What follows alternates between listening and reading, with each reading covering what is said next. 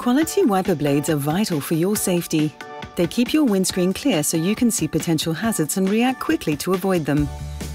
Wiper blades should be replaced when they leave streaks on the windscreen, when they jump or judder noisily, or when they leave smears across the glass.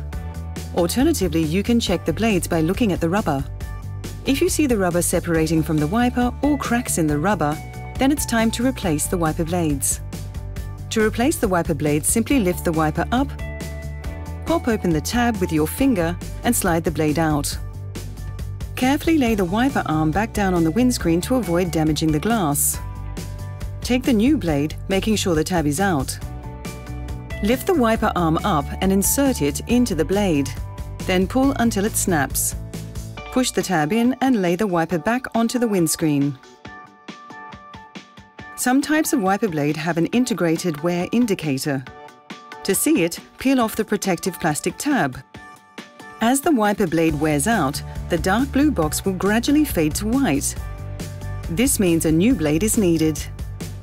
Toyota genuine wiper blades are designed and manufactured to the highest standards using premium quality rubber. Silent and long-lasting, they are custom-made specifically for your windscreen in order to have the best possible contact. To ensure this, Toyota engineers test the blades on the windscreens for each model. You can count on quality, performance and value with this genuine product. If you're not sure about changing the wiper blades yourself, visit your Toyota authorised repairer, who will be happy to quickly perform a safety check. For all your maintenance needs, you will receive expert assistance and the best possible care for your Toyota, ensuring that your driving experience remains safe and pleasurable.